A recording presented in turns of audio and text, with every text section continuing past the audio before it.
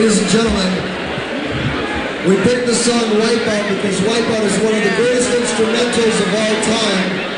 The band that you're about to see wrote and created that song and turned it into the hit that it's been for the last 25 years. They've been rocking North America since 1962.